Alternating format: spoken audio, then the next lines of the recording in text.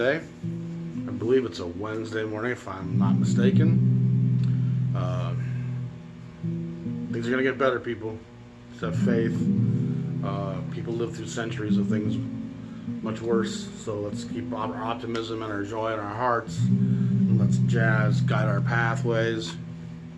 Um, today's a cool episode. This is 12 songs in the jazz medium that you should play at dawn. And when you wake up works as well, but it's more important to play them at dawn. Crack of dawn. And I think it would make a heck of a 12 song playlist if somebody were to download this and play it consecutively or uh, even each song a day for two weeks or whatever. But I think it just would be a great flowing 12 songs to play to start your day to find some meditation, some calm, your place in the world. Anyway, uh, here we go. Uh, number one on my list. This is they're gonna, these are going to be the order I would play them in. We're starting with Kenny Burrell. This is uh, the album Guitar Forms, and I'm specifically going to pick a song for each one of these. And this is the song called Lotus Land and Gil Evans helps him with some of the arrangements. But this is a fairly minimal piece at times. Uh, some of these tracks are going to be fairly long, but you want length when we're when you're speaking about meditation, when you're speaking about calm, serenity. You don't want two minutes of calm. You want a couple hours of breathing. Uh, Lotus Land is a wonderful place to start it's got hints of East Asia in it, but it also just has almost there's almost a humidity to this song. Thick in spite of its minimalism. It's dense and warm and muggy. It's just like this cloaking veil of mist and uh, the bass just plugs in these spaces and it's thick and Burrell is just speaking to us through that guitar and helping us find serenity, helping us find the moment of Zen. And in this day and age, in this time and place, Zen would be a great thing for us all to have a little more of. And so Kenny Burrell's uh, guitar forms with Gil Evans. Lotus Land is my first track. It's a nine minute song. So you want to let it just kind of wash over you. Let, let it soak in and feel that warmth. Feel that damp moisture of the cosmos that we're interconnected with one thing I do like about a muggy, humid day is you can feel air in the space that we're a part of all around us as it moves through us.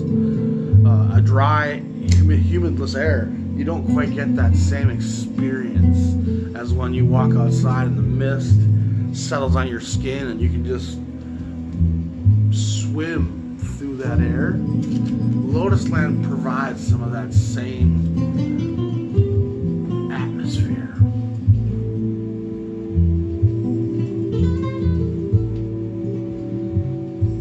And it swings ever so mildly. And the improvisations by Burrell are just mystical.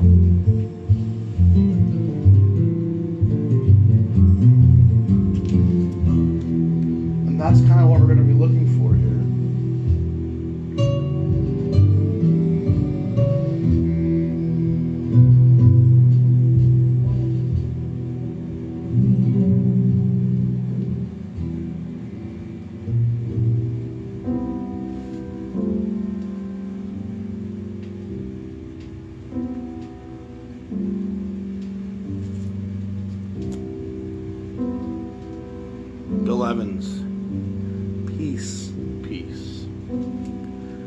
Uh, this is the fantastic uh, Bill Evans on Riverside. Everybody digs Bill Evans, number 291 in the Riverside catalog in the 200 modern series. And so that's in the thick of when Riverside, from about 250 to about 400, there's 150 records that I think everybody should own. The entire 300 series, the latter half of the 200, and uh, most of the 300 series. It's fantastic stuff there. And then the early stuff and then the 400 series, there's still a lot of great titles there. But there's really a moment from 57 to 60 where Riverside's just doing gem after gem after gem. And they give an artistic leeway to their musicians. So the guys like Bill Evans can make records with compositions like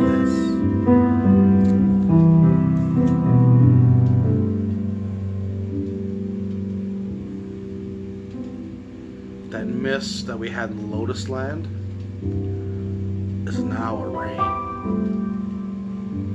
It's washing away the filth and the yuck of yesterday and allow me to have a fresh day at dawn. And Evans, I think, is well known to most people. And I think this is one of the clearest examples of the beauty of Gil Evans. I mean, Bill Evans. And make no mistake about it, that's minimal. It's the careful selection of what intervals and what notes to play.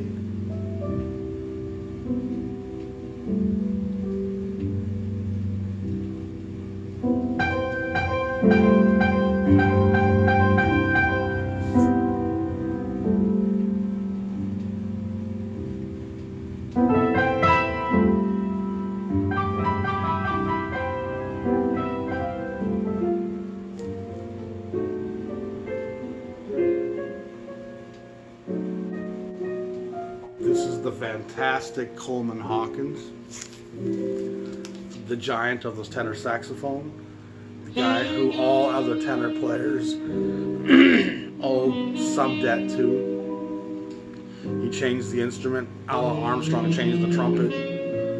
Uh, here he is much later in his life. Prestige has picked him up in the 50s. He does a number of records on the 7000 series, but he's also doing stuff on the Moodsville and the Swingsville imprints for Prestige. And Swingsville and Moodsville are what they sound like. Swingsville records are kind of older school cats who are going to just play some swinging ass Verve Norman Granz style jazz. and then Moodsville stuff is going to be usually fairly ballad driven and melancholy. This is, of course, Moodsville 7. It's the second alternate cover. Um, Moodsville makes about 30, 35 titles. Swingsville's probably a little less than that. Uh, I love this record. I've loved it for years.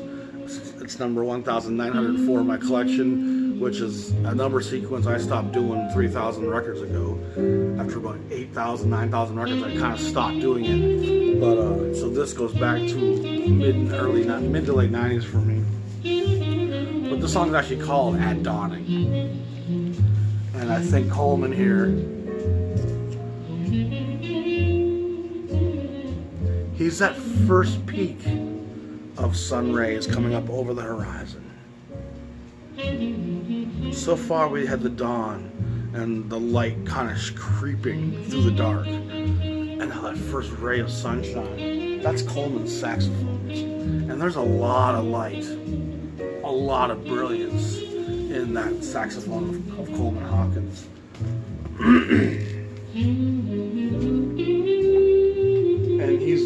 great ballad players. By no means was he limited to the ballad. He could swing his ass off, but if you get the chance to hear Coleman Hawkins doing ballads, you need to take advantage of that.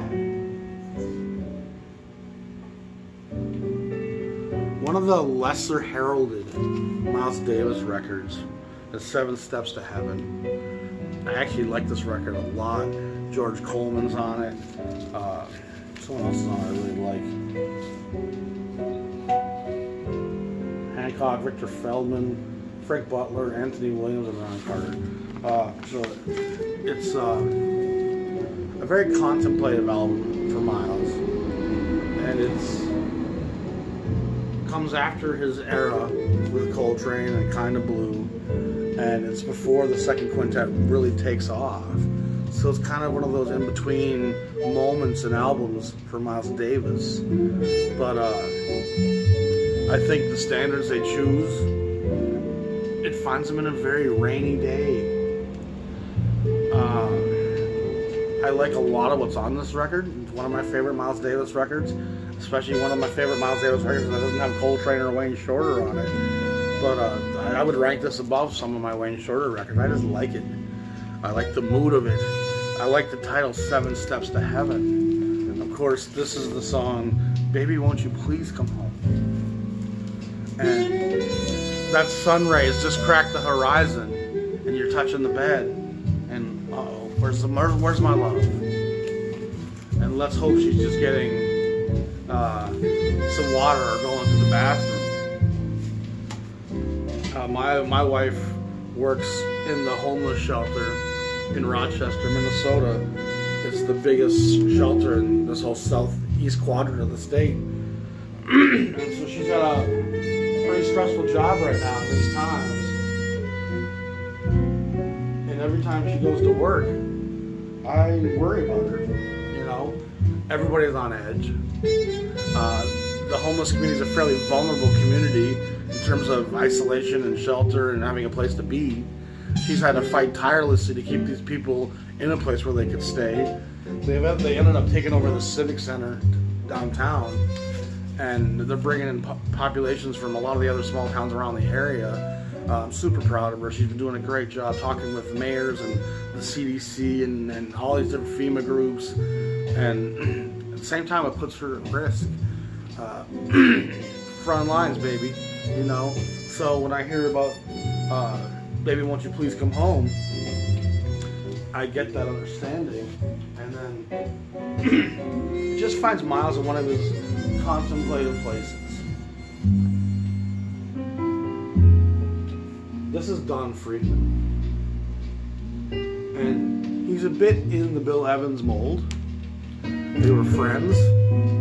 They probably shared similar uh, upbringings, being white um, East Coast Americans. Uh, they might have dabbled in some of the same psychedelics and uh, appreciations of life experiences.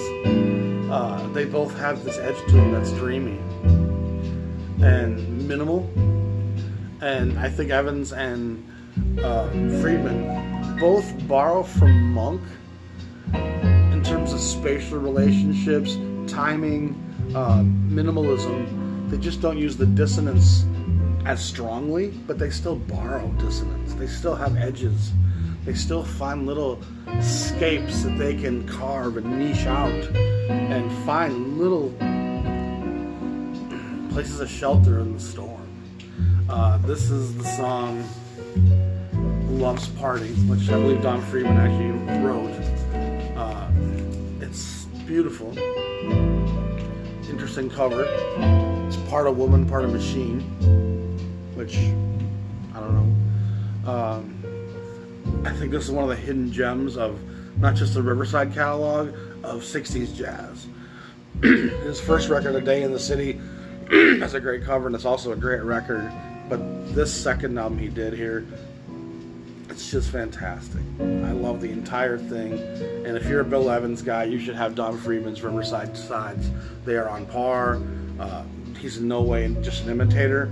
They, like they said, were, they were co-mutually hanging around con- contemporary, contemporaneously. These records are coming out at the same time. Uh, so dig on Don Friedman, and in a way, you can add to your Bill Evans collection. If you like Bill Evans, he's going to fit in just fine and you're gonna feel like you also have more Bill Evans records to find for half the price too. I might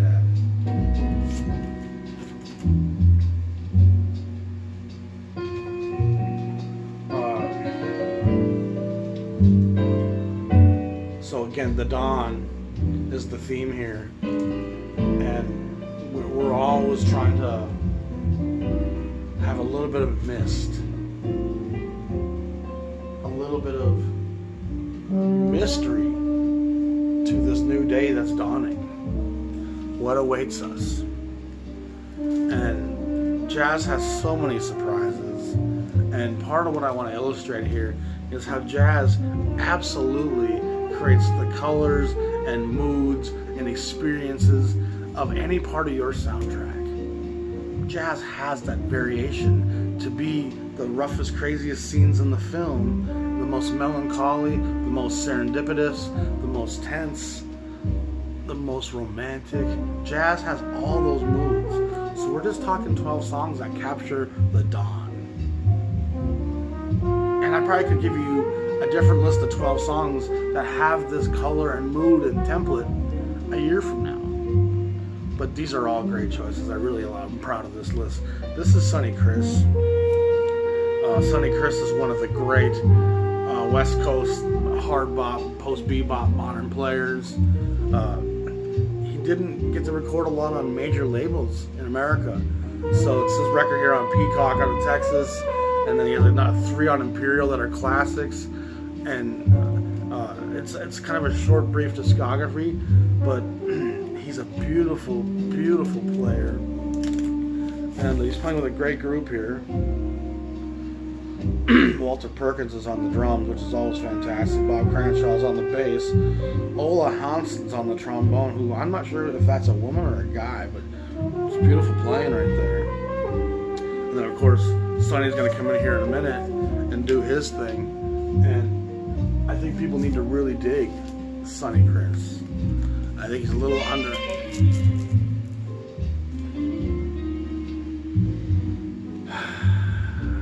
See?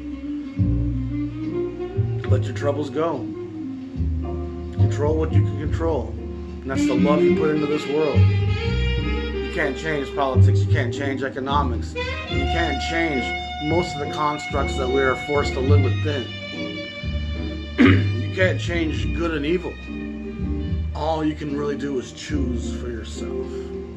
And jazz puts us on that edge all the time and says, boy, there's the Garden of Eden on this side, and there's the fruits of hell on that side. I want to dabble in both.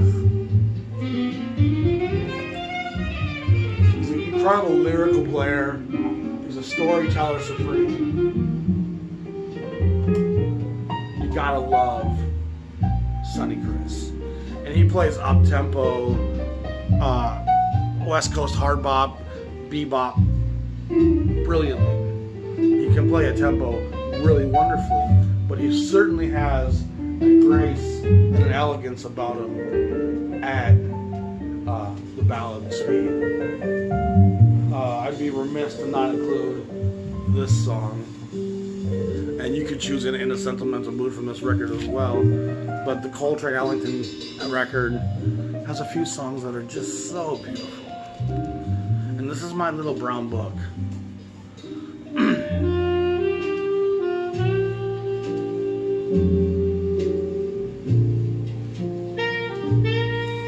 and the temperature just went up a little bit. That early morning cool has come off.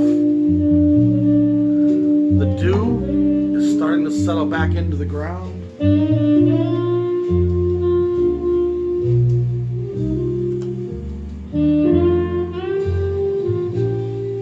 The birds are starting to make a lovely song.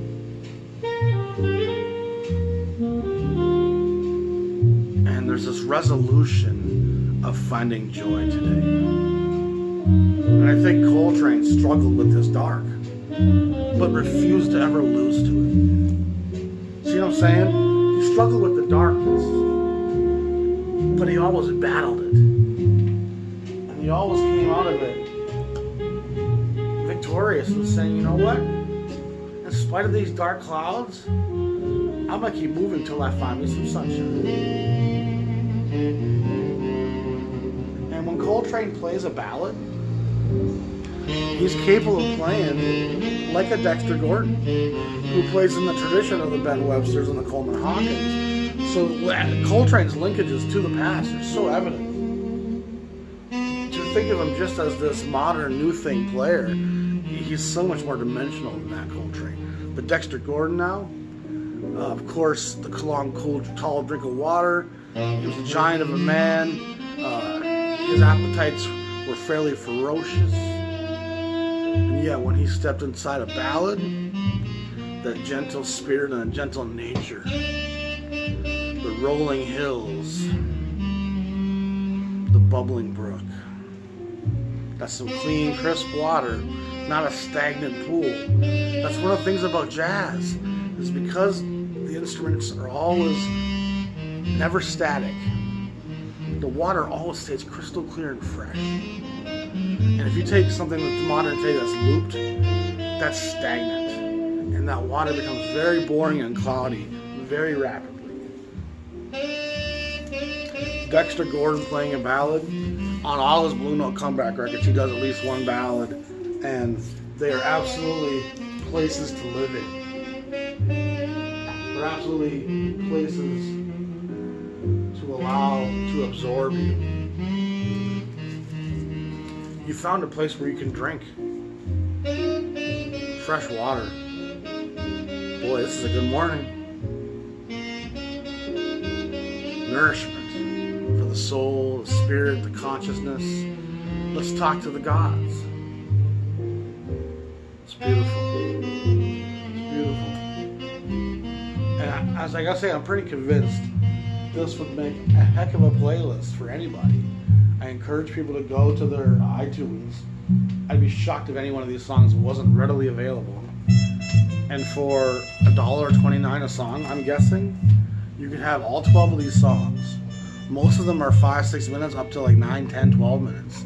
So you'll have a long playlist of Serenity. This version of Summertime, I've talked about it a few other episodes, but I could not not have this in my morning playlist.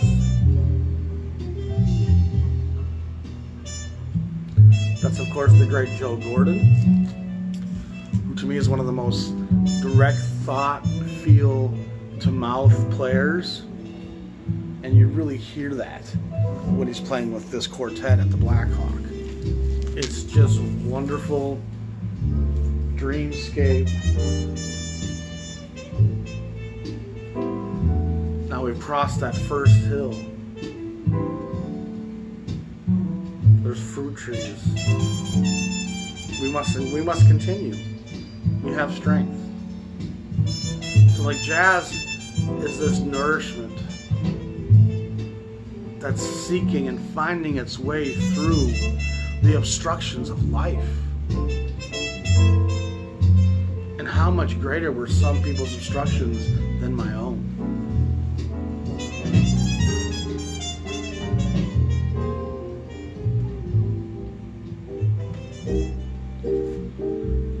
quoted as saying this is probably my favorite song in the world. And this song, say hi, Daisy. This song would work equally well at 2 a.m. as it will at 7 a.m. Duke Pearson on the piano there, forget about it.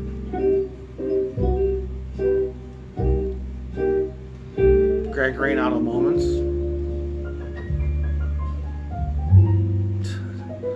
Pearson just steals the show. The song goes on for 13, 14 minutes. It's a lovely blues that they accidentally played uh, 32 bars versus 16 on their solos. And the take was so wonderful that it was issued in that full length version. And it's absolutely bliss. Grant Green's guitar break is wonderful. Duke Pearson on the piano was marvelous. Joe Henderson's saxophone playing is fantastic. And then the great Bobby Hutcherson, as a fairly young guy, uh, plays a wonderful vibraphone blues break. All four of those solos are just fantastic, and takes you through this 12 15 minutes of music that each one tell it's like telling you their own story of the round table. This was the battle I waged. So again, you're going to be swept away by a wonderful, long, beautiful blues. And we're going to hear the first break of the guitar here. Grant plays with a wonderful, clean tone. A lot of nice isolation on each note. Hint delay, like there's a nice body to his tone that I really love.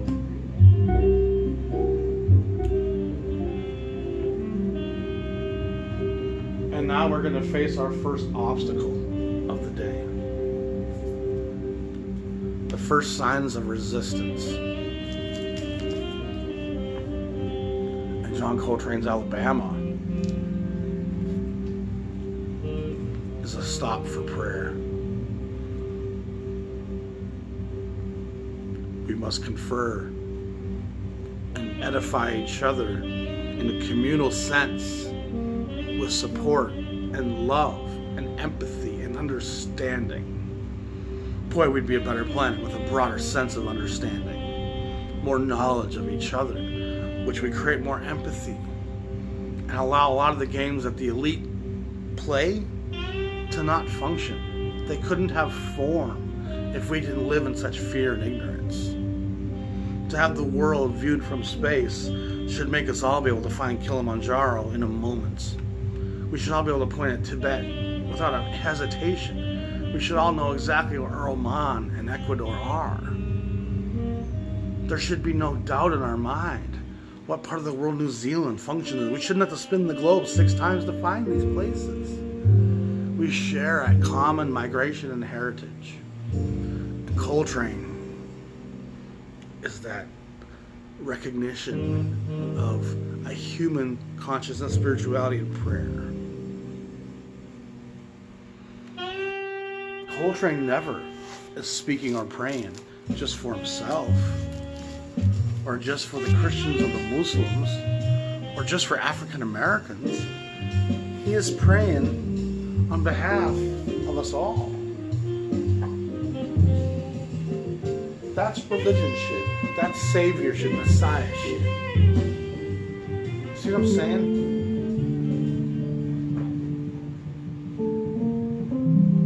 And once you've made it through Alabama and kind of cleanse yourself, I'm going to bookend this with another guitar piece suite that I love the Jim Hall Concerto. And this is the lovely side two. That's one song. Concierto de Aranjuez. Pardon my Spanish. Concierto de Aranjuez. It's side two. It's all one song on this record. And so I'm going to try to put all 12 songs in the liner notes for those who want to try to download and put this into a playlist.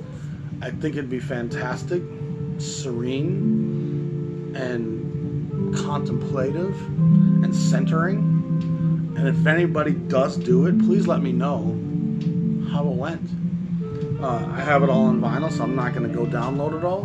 But I think as a download, to hear it uh, on a playlist would be a super wonderful experience. So this is 12 songs to play at dawn to help you find your way through this world and to shed the discord that the media permeates upon us. And of course, the media is owned by people with a motive. And we must always follow the money, and that money always runs uphill. To ever point the finger at people lower on the hill than us, it just makes us a sucker. It makes us, it means we're gullible. If I'm blaming someone beneath my status in life for my status, I've been fooled.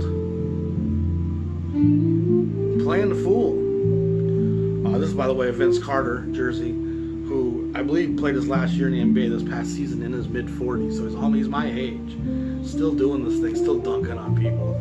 Kind of admire Vince Carter to be able to play that sport with kids in your 40s.